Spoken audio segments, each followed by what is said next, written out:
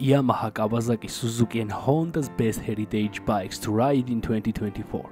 Welcome to my channel, I am Thomas and if you are motorcycle enthusiasts, motor lover, you came to the right place. My channel is all about motorcycles. As for this lineup, I decided to stick to both the latest and old models, but the legendary ones. Of course, each of these motorcycle model can be brought on the market, but some of them will be hard to come by. If you are interested in these rare models, then search in Japan. You will differently find the bike you want in this country. You will differently find the bike you want in that country. Let me talk no much more and you continue watching the video and most importantly don't forget to subscribe to my channel. Everything about motorcycles is here.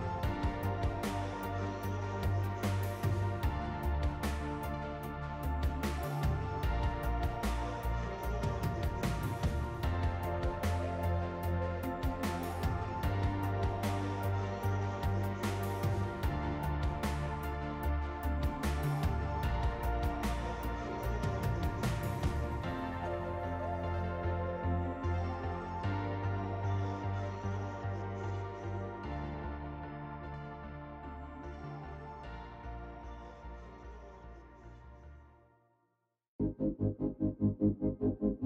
you.